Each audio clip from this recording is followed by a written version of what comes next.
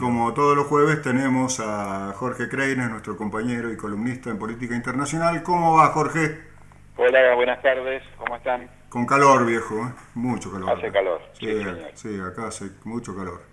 Eh, bueno, eh, tu agenda. Sí, este, si les parece, el tema elegido para hoy es Italia. Ah, qué lindo tema, sí. en Italia han habido elecciones y lo que prima, después de conocidos los resultados, es la incertidumbre política total. Ninguna fuerza ha sacado la mayoría.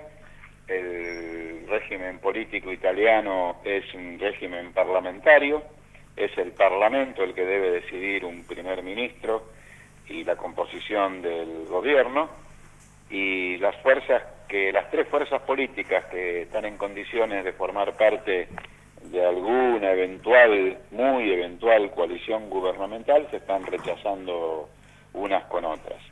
Desde ya, la fuerza que sacó el primer lugar, el Partido Democrático de Pierluigi Bersani, este, está, es posible que sea el encargado por parte del presidente napolitano. En Italia el presidente se reúne con el ganador, con el de la primera minoría en este caso, y le da la tarea de formar eh, gobierno. El Pierluigi Bersani ha rechazado toda posibilidad de encuentro con el tercero, que es eh, Berlusconi, el famosísimo magnate de los medios de comunicación y otras corporaciones eh, Berlusconi. El segundo lugar eh, para Beppe Grillo, Beppe Grillo, en, dicho en mejor italiano, que es un cómico de la televisión muy famoso, antipolítico, que se presentó con el lema de terminar con la vieja partidocracia y que tiene un movimiento que más parece un hotel de mucho precio, que se llama Movimiento Cinco Estrellas. Ah, mira. bueno, este, debe ser cómodo. Eh, Pierluigi Bersani hizo unas declaraciones invitando a Pepe Grillo a formar una coalición de gobierno y este ha rechazado completamente esa posibilidad.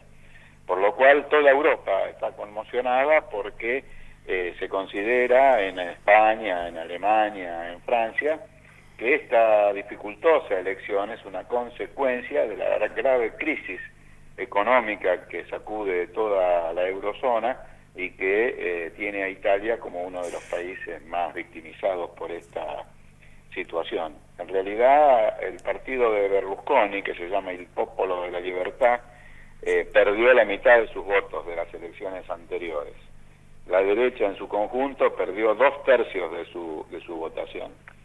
Y el centro izquierda o centro sinistra eh, que ha ganado es un centro sinistra este, de tipo tibio, es decir que eh, no hay grandes expectativas de cambios importantes en la situación italiana.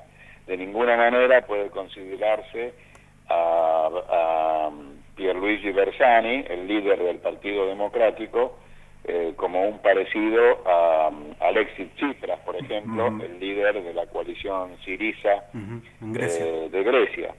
Pero la esperanza que queda para un buen pasar de la institucionalidad italiana es eh, alrededor de la heterogeneidad de los diputados electos por el partido de Grillo. Mm. El partido de Grillo es un partido muy heterogéneo, sus candidatos fueron elegidos, en realidad no es un partido, los candidatos fueron elegidos por internet, este, y es posible que haya una parte de los candidatos, de los diputados electos de Grillo, eh, esta es la, situación que está conmocionando a Europa. Pero esto ya está siendo utilizado eh, a su modo por algunos gobernantes este, en España, en Portugal, en Irlanda, eh, en Grecia, este, que están diciendo, eh, le están diciendo a la señora Merkel, que es un poco la dueña de Europa en este momento, la, la, la, que rige los destinos del Banco Central Europeo y de la Unión Europea, que les dicen, mire, ayúdennos, este, facilítenos las cosas, porque si no nos va a pasar como en Italia, y mm. vamos a tener este, una situación de inestabilidad política y de incertidumbre sobre el futuro institucional que, sumado a la grave crisis económica,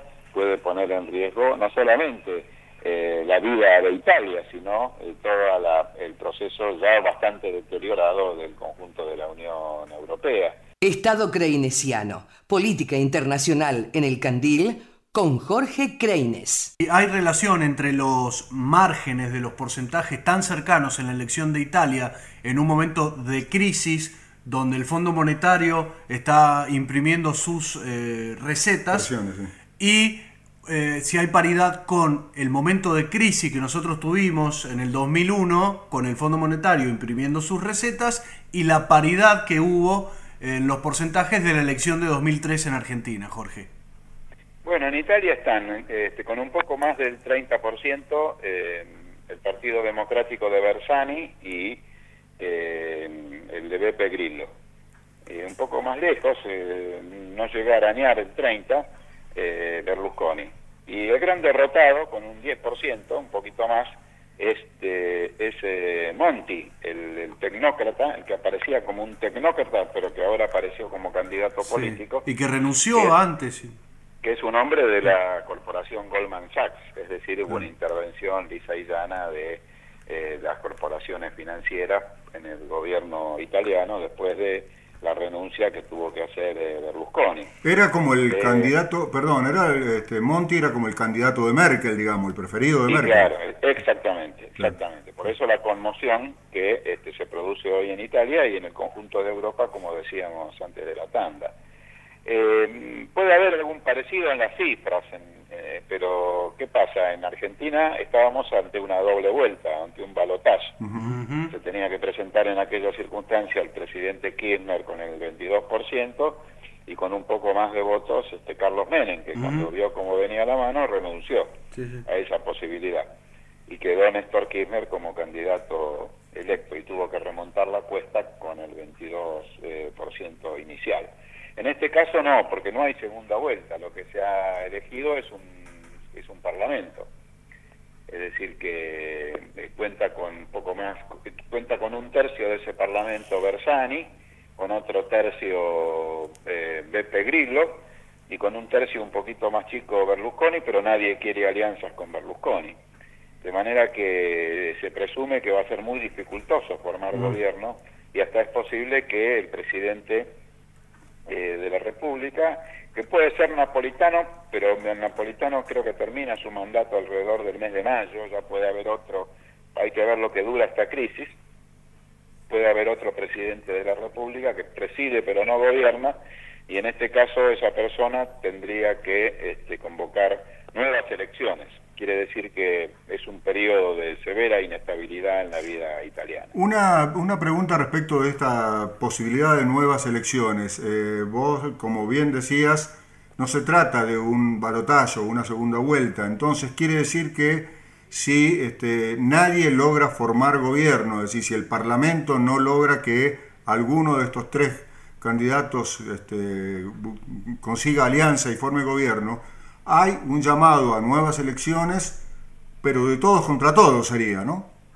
Y bueno, habría que ver cómo se realinean las fuerzas políticas o se realinean, mm. este, que si constituyen alianzas, si aparecen nuevas figuras, porque puede ser el mismo cuadro o puede ser un cuadro mm. distinto de cómo se van este, perfilando las diferentes fuerzas. Por lo cual, eh, bueno, la expectativa queda en que en una primera etapa Bersani pueda formar gobierno y en una segunda etapa, eh, en fin, eh, la convocatoria a nuevas elecciones.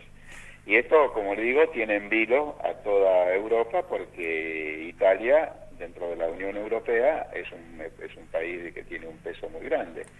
Eh, después, de, después de Alemania, Francia, Gran mm. Bretaña, ya Italia es uno de los países más importantes del viejo continente. Discúlpeme la insistencia, Jorge, en este paralelismo que trazo en, entre Europa y la situación argentina del 2001, pero Berlusconi sería eh, paralelo eh, en esta idea que estamos armando de Menem. En realidad, Berlusconi si hoy hubiera segunda vuelta en Italia tendría que prácticamente renunciar como Menem.